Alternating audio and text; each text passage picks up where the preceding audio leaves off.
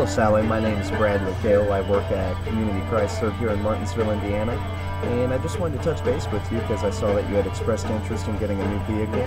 Just wanted to let you know that I had received your uh, emails back from Linda saying that you were going to be able to come in on Saturday. Uh, just wanted to set an appointment for you and get a time lockdown.